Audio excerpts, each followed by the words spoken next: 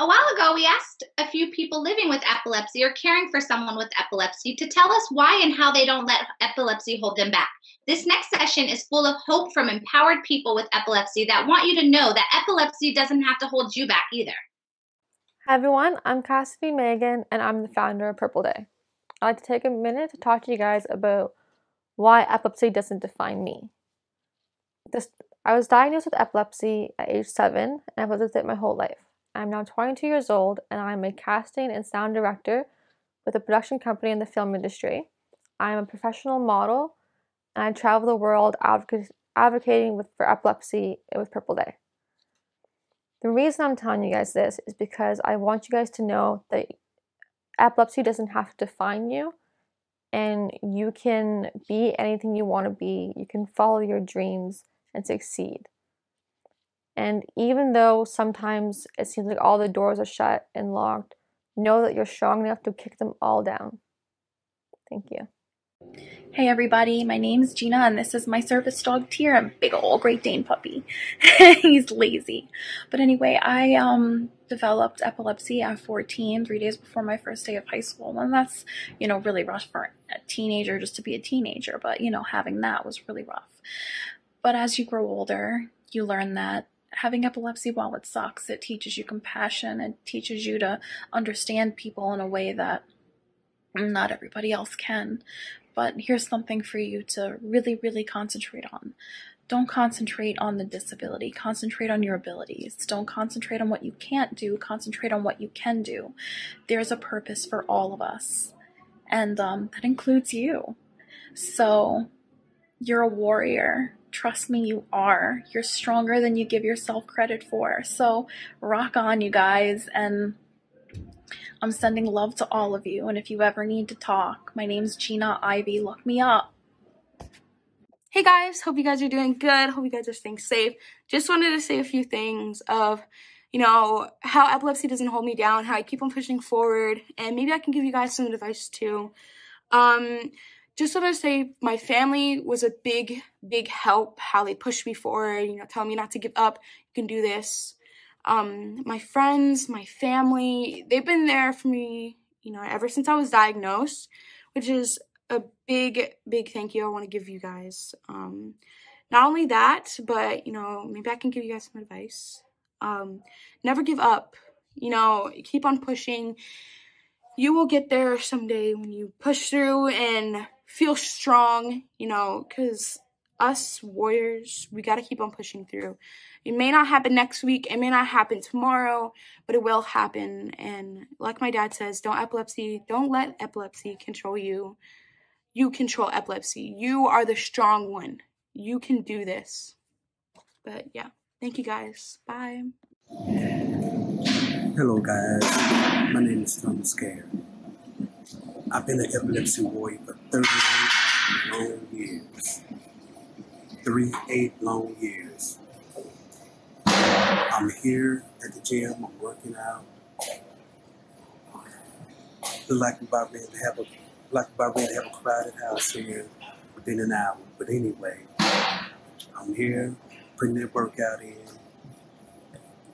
I don't let epilepsy keep me down. I don't let it, you know, I don't let it bother me. Workout, that's my that's my pastime. I've been working out most of my life. I, you know, I work out and the people that inspire me are bodybuilders and weightlifters.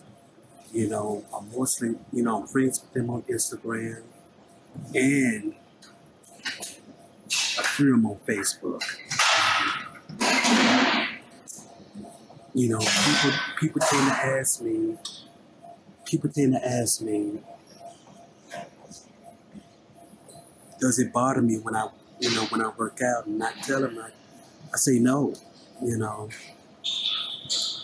when my, you know, when I'm working out, my brain is relaxed, and whenever my brain is relaxed, I'm I'm at my, you know, I'm at my best. I'm at my best when my brain is relaxed. And You know, I feel good when I'm working out, and I don't let it get in the way. You know, it don't hold me back. I feel good.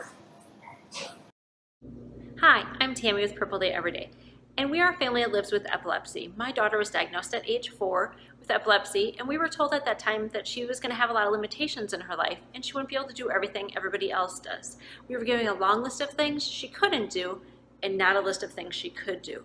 Um, we found the neurologist that was right for our family. He said, do not put limits on that child because she'll show you those limits.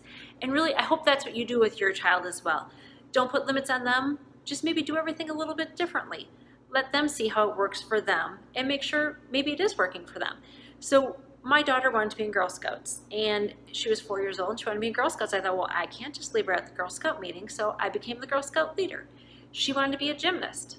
Well, that's kind of scary and maybe something somebody with epilepsy shouldn't do, but she wanted to, so we decided to let her try. And she's a gymnast, she's a competitive gymnast that's been doing it for years. And it really brings a lot of joy to her life. And that's part of her family, her gym family. So there are things that maybe somebody with epilepsy shouldn't do, or you think they couldn't do, but don't put those limits on them. They'll put their own limits on them. If it works for them, you're gonna find that out. If it doesn't work for them, you'll find it out as well. If she plays the saxophone, that's a lot of blowing air hot on a you know stage. She does it. She loves it. So it's just something she can do. As a family, we downhill ski. I'm telling you, sometimes it's really scary thinking about get, her getting on that ski lift, but we have to let her do the things that she wants to do. It's a hard decision to do, but she can do everything everybody else does. We just do it a little bit differently, like I said. So I hope that you can find things that your child can do or you yourself can do, and don't put limits on yourself until you know what those limits are. Make sure you do everything safely and you know thoroughly investigate what it is you want to try. But don't say you can't do it unless you try. Hey, so we're going to talk about how to not allow epilepsy to control your life today. And I know that's a deep uh, conversation. Epilepsy is hard enough, and it's hard enough not allowing it to control your life. And it was hard enough for me to let that go. Um, you have to think positive on life, you have to be motivated, and have a good support team. And for me, it took having a little baby girl back in 2019. And then in 2020, I became an advocate for the Purple Day Everyday Foundation. I opened up my own photography business and I also uh, started a part time job after being a stay at home mom for a year. So let's just say I kept myself very busy and decided on my own not to let epilepsy control my life. And I had a great support team behind me, and my number one fan was my husband. So that is key in life for those who have epilepsy to always have a support team, to try to stay positive, and to try to stay motivated. And motivation is always so difficult, but just know that there's people out there to help you stay motivated, to help you stay positive. And if you ever need help, there's always somebody out there to talk to. So, thanks for listening. Hello, dear friends. Good evening to all of you. I am Ilya, talking from Iran. I am 14 years old.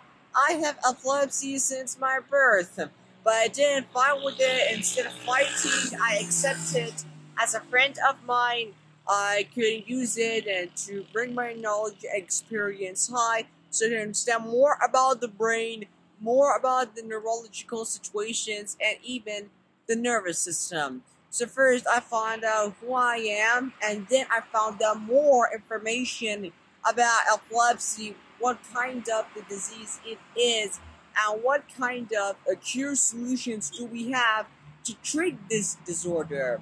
So the good fact eh, for you guys is to accept the epilepsy as a friend of yours instead of fighting it. And that is the reason how you guys could control your epilepsy.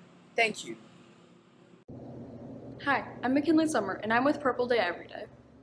When I was four, I was diagnosed with epilepsy, and a little before that, I had my first seizure, which was a little scary for me and my family because we didn't know what was happening or what to do. Now that I'm 14, I've had 10 years of experience with epilepsy, and I figured out that it can't hold you back from doing anything. Sometimes you might just have to do things a little bit differently than other people do, which is completely fine. That's what I do sometimes. I'm a competitive gymnast, and I ski and play volleyball sometimes. I do what everyone else can do, but sometimes I just have to modify it a little bit back. Epilepsy can't hold you back from doing anything, mentally, physically, or any other way. You can do everything else that anyone else can do.